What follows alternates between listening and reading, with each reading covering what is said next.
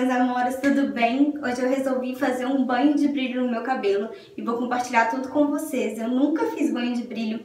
Na verdade, pra quem não sabe, eu fiquei 10 anos loira. Pois é, meu cabelo detonou no loiro, mas eu gostava muito. Eu usei o loiro por uns 10 anos, fios, luzes, tintura e tudo que você imaginar. E aí, em novembro do ano passado, eu resolvi escurecer meu cabelo e aí eu joguei o louro escuro nele. Todo mundo me perguntou a cor, achando que era um castanho, mas é o louro escuro. Ficou até puxado para o marrom, porque o fundo tava loiro, né? Mas aí eu passei o loiro escuro e aí em novembro do ano passado, em janeiro, eu retoquei. Usei mais uma tinta do louro escuro, vou mostrar até a tinta vocês. Então a última vez que eu mexi na cor dele foi em janeiro, que eu passei novamente a tinta louro escuro. E eu vim fazer então um banho de brilho para poder dar uma realçada na cor, sabe?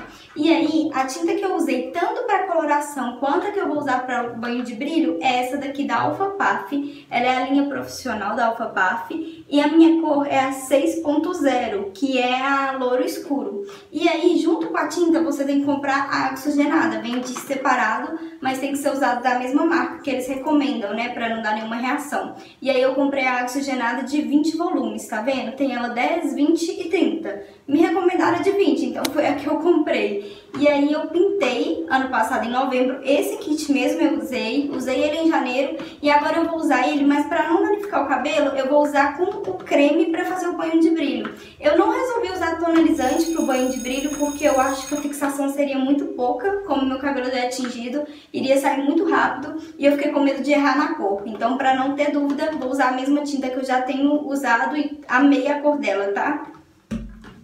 Bom, banho de brilho, para quem não sabe, você mistura a tinta com creme, com alguns produtos que vai dar uma hidratação, dar um brilho, realçar a cor. Então eu vou usar esse kitzinho, não vou usar ele todo, vou usar um terço dele ou metade. Vou ver o tanto que vai dar para poder não ficar muito forte. E meu cabelo é pouquinho também, ele é comprido, tá vendo? Mas é pouco. E aí eu vou usar uma máscara, a máscara deve ser branca. Eu vou usar essa daqui, ó, da Inoar. Tem até ela na Doctor, tá vendo? Tem até ela aí no Diário do Cabelo. Ela é branquinha, olha. Tem ela aí no primeiro vídeo do Diário do Cabelo, vou deixar o link aqui em cima pra quem não viu. E eu gosto muito dela, ela é pra hidratação, máscara de hidratação. E por ela ser branca, eu vou usar ela. Vou usar juntamente com essa misturinha um óleo. Eles falam pra colocar um óleo pra nutrir, né, o cabelo, um óleo de nutrição.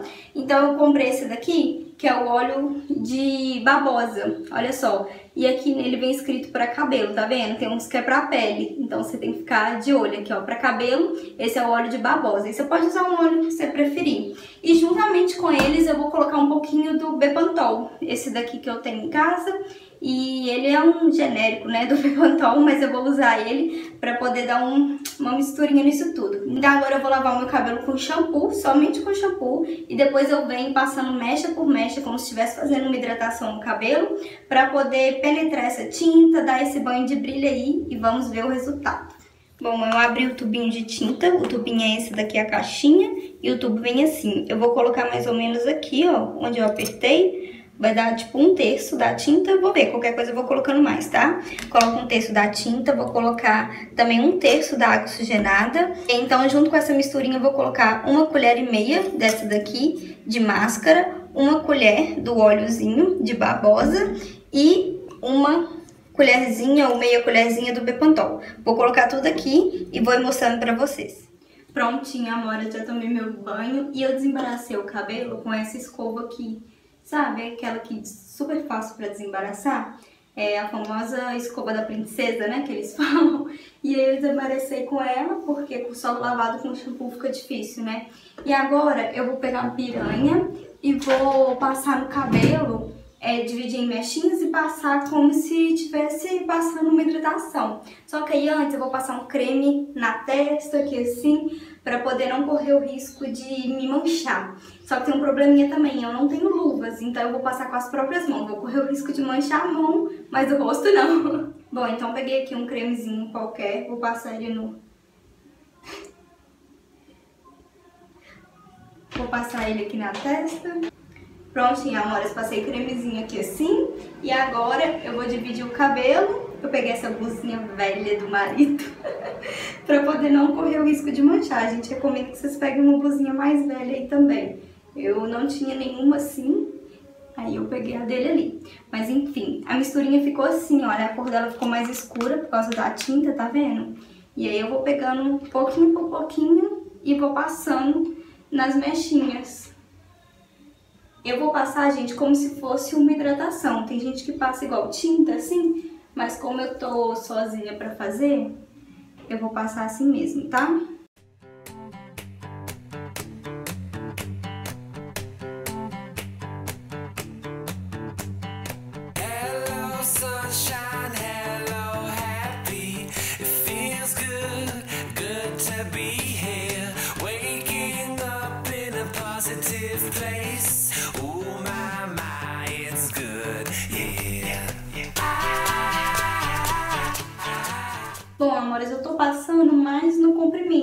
Porque a minha raiz, ela tá natural, né? Já tá aqui assim, eu acho, até que assim, mais ou menos, já cresceu natural. E eu não tô querendo muito mexer na cor da raiz.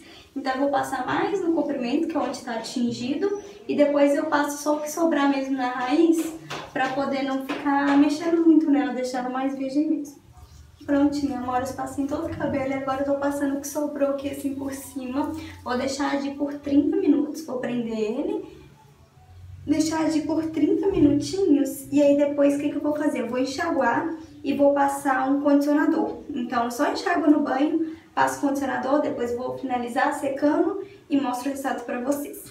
Tinha amores, deixei agir por 30 minutos, olha, já parece que tá brilhando aquelas, né? Brincadeira, gente, mas parece que deu uma pigmentada no cabelo. E aí agiu por 30 minutos, agora eu vou enxaguar, vou passar condicionador apenas, porque eu já lavei com shampoo antes, vou passar só o condicionador, enxaguar, aí eu vou finalizar normal, do jeito que eu passo, livinho, vou secar com secador e trago ele sequinho pra vocês verem o resultado final, tá? Tô ansiosa pra ver. Amoras, pensa numa pessoa que amou o resultado. Gente, sério, gostei muito. Olha só como o cabelo tá. Não sei se vai dar pra ver no vídeo, mas tá com muito brilho. E eu sequei ele, tá bem macio. Nossa, gostei muito, muito mesmo do resultado. Intensificou bastante a cor. Deixa eu chegar de pertinho pra ver se dá pra vocês verem. Olha, tá brilhando muito, gente. Diz o marido que tá parecendo espelho, de tanto que tá brilhando, olha só. E a cor deu uma intensificada, tirou aquele tipo queimado, sabe? Aquele vermelho, avermelhado que tava por causa do fundo loiro, né? E olha só, tá com bastante brilho. Gostei muito, muito do resultado. Então é isso, agora eu vou estar tá fazendo sempre. Vou pensar em fazer de dois em dois meses, mais ou menos. O indicado diz que é fazer uma vez ao mês. Então, vou dar um intervalo um pouquinho maior e vou estar sempre repetindo esse processo que eu gostei muito mesmo.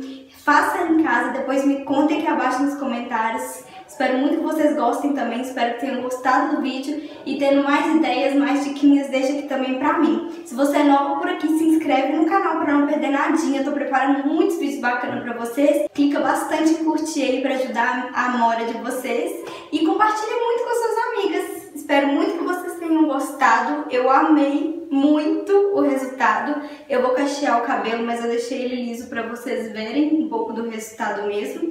Então é isso, amores. Compartilhe com as amigas, clica bastante em curtir para ajudar a mora de vocês. Um big beijo e fiquem com Deus.